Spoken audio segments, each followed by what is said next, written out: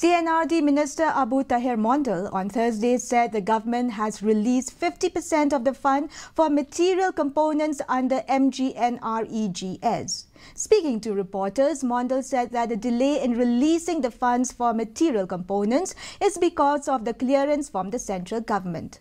Meanwhile, the Hynniewtrep Youth Council HYC on Thursday, while handing a memorandum to C&RD Minister A.T. Mondal, HYC General Secretary Roy Kupar Synrem suggested that the state government should come out with modalities or SOPs that the funds for material components must be released within a period of not more than six months and failure to do so, the department concerned has to pay with interest to the VEC concerned. Central government. And uh, the sharing as far the material is concerned it is 75 by 25 by, uh, percent 75 percent by 25 percent so unless the center releases the fund, it is very difficult for us to just release this 25% and keep people happy.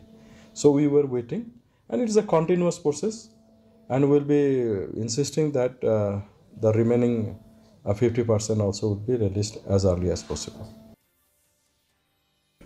In